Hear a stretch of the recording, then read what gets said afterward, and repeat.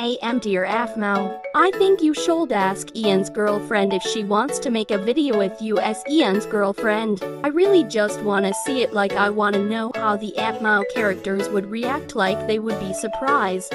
Like especially Zane.